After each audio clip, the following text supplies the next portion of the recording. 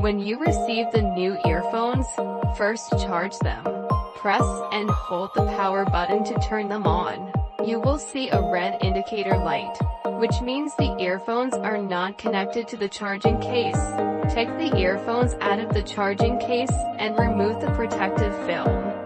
Then put the earphones back into the charging case. The earphones are in the power off state.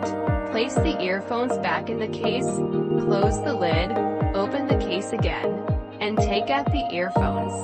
The earphones will enter pairing mode, and one of the indicator lights will flash alternately between white and red.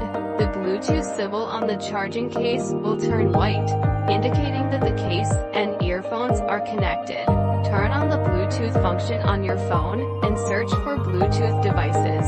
Connect to the Bluetooth earphones. When the Bluetooth name appears, click to connect. When the indicator light goes off, it means the earphones are successfully connected to the phone.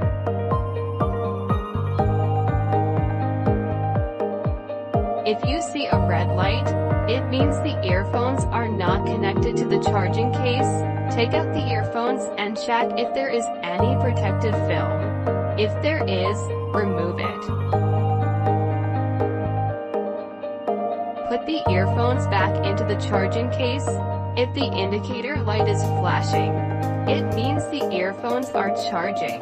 The red light indicates that the charging case and earphones are not connected. Ensure the earphones are in the charging case. Then press the power button three times to force pairing. Take out the earphones again. When the Bluetooth symbol turns white, it means the earphones and charging case are connected. Now you can use the Bluetooth headset connected to your phone and use it normally.